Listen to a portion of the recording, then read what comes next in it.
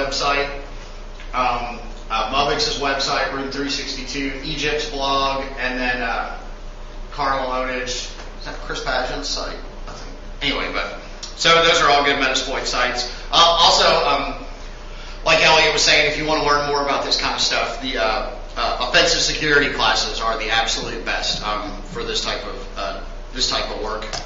Um, some Metasploit ninjas that you can follow on Twitter: HD Moore, Egypt, Mubix, Chris Gates, Dave over here, and Carlos Perez. And if you have any questions, kind of like I said earlier, try harder. That's all I got.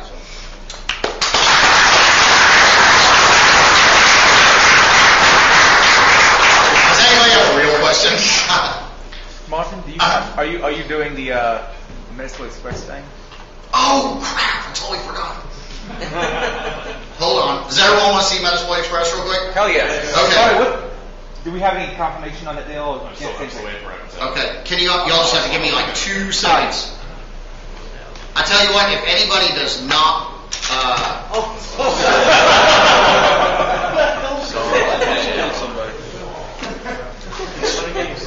let me get my copies out. Would that set off an alarm? If anybody does not want a computer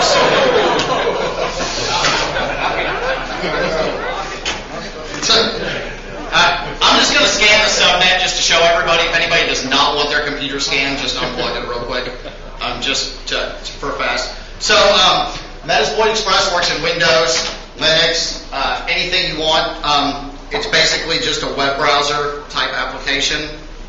Um, I'll show it up here. I'm lame. I just use root tour for my login, so I never forget it. anyway, so here's the interface. You just log in. You create a user. Um,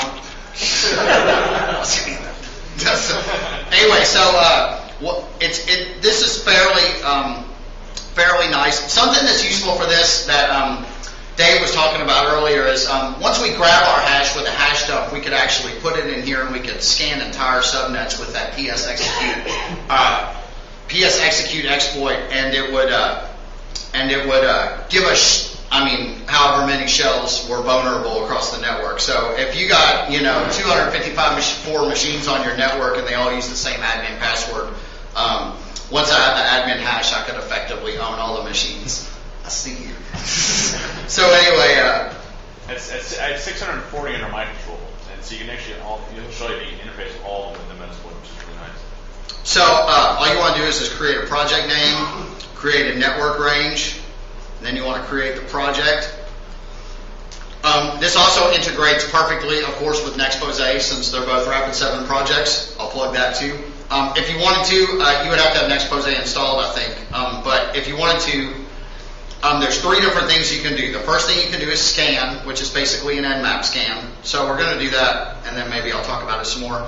Um, it's generally good to exclude your own address, but I'm not going to. So oh well. So um, you can set the port scan speed. Since we're all friends here, we'll do insane. So then you just hit scan. If you had an SMB hash, for example, you could put it right here or an SMB. So we would put administrator and uh, whatever that hash is that we got from the administrator uh, uh, console. So then you just hit scan. Then what happens is you get a task list comes up over here, and uh, this is basically just host discovery because when you actually run the exploit part, you probably want to trim down. You don't want to just bash up the whole entire subnet unless you really don't like the company, I guess. But anyway, so and then uh, you can go over here to overview. It'll say scanning, and you can go over here to host. I mean, this is really easy to use. I, I don't have any results yet, but this may take a second. And uh, of course, there's the progress. So then, uh, the the kind of the kind of way you would do this is you would do the scan. So, wow, a lot of people didn't unplug their computers. so anyway, I got 31 hosts discovered. It's going to tell me the amount of services. Um, the next thing I would want to do is I would want to go to Nexpose and I would want to kind of trim down my list and uh, see if I could find any exploits that uh, match that system. This might take a minute. We got 15 minutes, I guess. It'll look cool when it's done, I promise. Um, this is still in beta, but um, it's going to, at the same time Metasploit 3.4 comes out, this is going to come out. Um, if you're interested in it, it's $3,000 for a yearly license. Um, but this, uh, and, but it also comes with, you know, support from the actual creators of Metasploit. Um, they have an IRC channel on the Freenode network in Metasploit. You can go in there and uh, they're nicer about questions than I am. Unless you mention backtrack. Unless you mention backtrack, of course. Then you're in good shape. Why do you have a problem with questions? Say what? if you don't keep the channel on topic, it gets all out of hand. Start talking about the club in Fiji last night and everything else. Anyway, so as you can see, I got 91 services detected. Um, oh, it's not taking too long. I'm 88% done. Um, the one special VM I had is one that I mentioned earlier, is one that uh, HD Moore gave me. It's actually got four um, really obscure vulnerabilities. So he says I was only able to make one of them work, but he claims that four of the services on there are vulnerable. So if he says they are, they are. Who am I to say they're not? So I'm not going to go through the Nexpose part, but Nexpose actually has a free community edition, um, so you don't have to pay for that. You can download that. It's a vulnerability scanner um, along the same lines as Nexus and Nessus, or however you say it, and some of the other ones. Um, generally, you would probably want to use a couple of them, but if you're going to use something like this Metasploit Express, it's better to use this one because it's already integrated. Um, the coolest thing about this is the report, which I'd like to show you at the end. This is just uh, this does not take the place for real penetration testing and real exploit development. However, this can dramatically um, speed up some of the processes, and it also makes this really cool report that you can give to the CEO and look cool without a lot of paperwork. So now what I'm going to do is I'm just going to go over here and I'm going to hit the exploit button. So here's all my target addresses.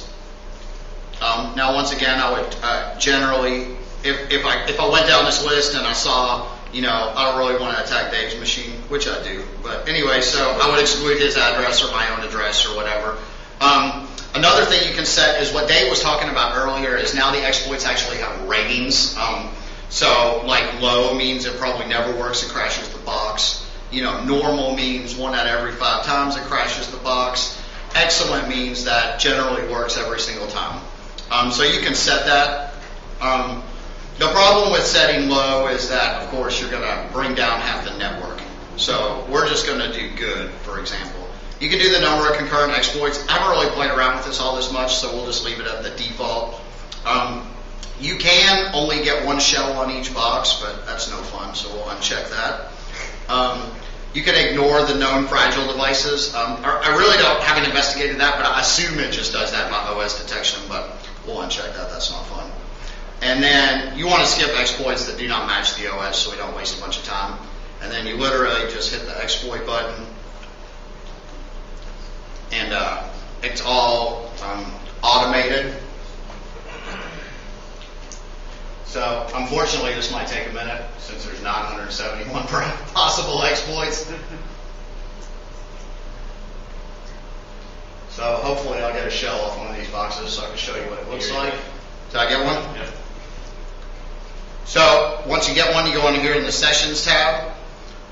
See, so this is the VM that uh, that uh, HDM gave me called Metasploitable. So it's less than a minute old. Oh, there's another one. So and it tells you what the exploit is that got it. So we'll let that run for a minute, see if we get a few more. So far, these are all RPMs, so everybody's in good shape.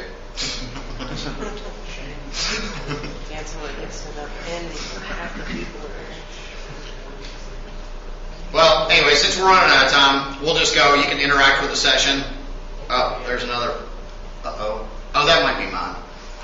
Anyway, so uh, so for example, you can interact with the session. Uh oh. So you can hit session three, and then you can see there's a variety of options. Um, like I may just want to collect the system data, which is similar to that WinEnum script. Um, this would be a good thing to not touch the